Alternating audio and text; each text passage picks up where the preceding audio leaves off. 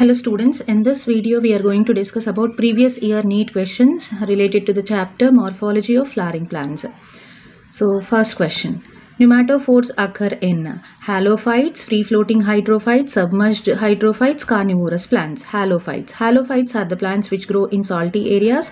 So in those salty soils, salty water, oxygen is not available. So some of the roots of the taproot system grow above the soil to get oxygen from the atmosphere. These are called pneumatophores.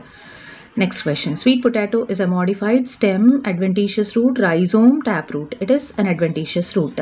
Let's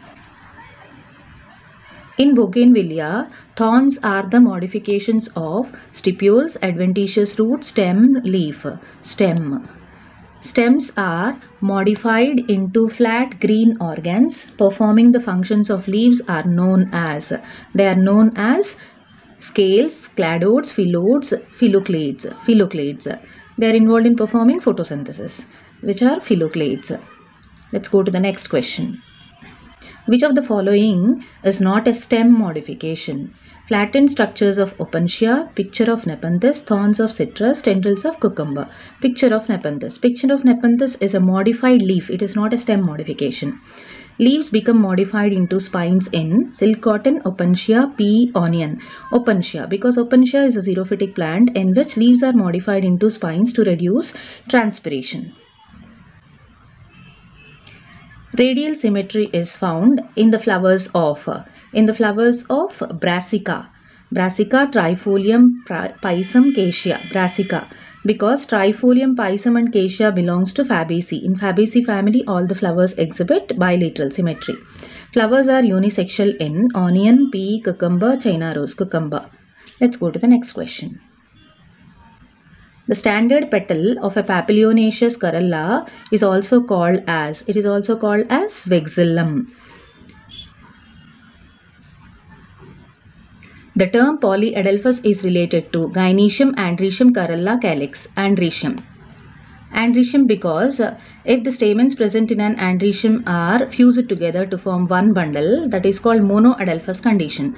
If the if the stamens present in an androecium are fused together to form two bundles that is called diadelphous condition. More than two bundles that is polyadelphous condition. So androecium is the correct option. Free central placentation is found in Dianthus, Argemone, Brassica, Citrus. It is found in Dianthus in argemone parietal placentation, in brassica parietal placentation, in uh, citrus axile placentation. The morphological nature of the edible part of coconut is perisperm, cotyledon, endosperm, pericarp, endosperm. Coconut fruit is a drupe, berry, nut, capsule. It is a drupe. How many plants among Indigofera, Sesbania, Salvia, Allium, aloe, mustard, groundnut, radish, gram and turnip have stamens with different lengths in their flowers? Correct option is second option, four flowers.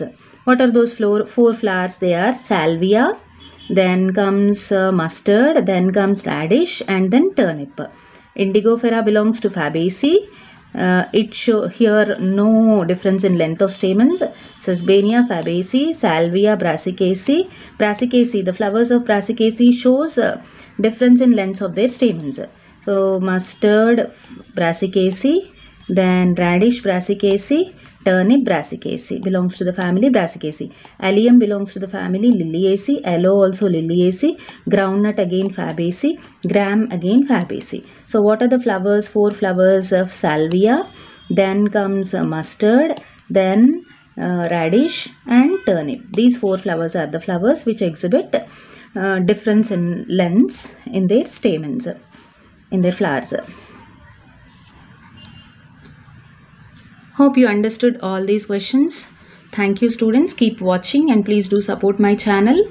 In the next video, I'll be posting previous year NEET questions related to the chapter Cell, the Unit of Life. Thank you.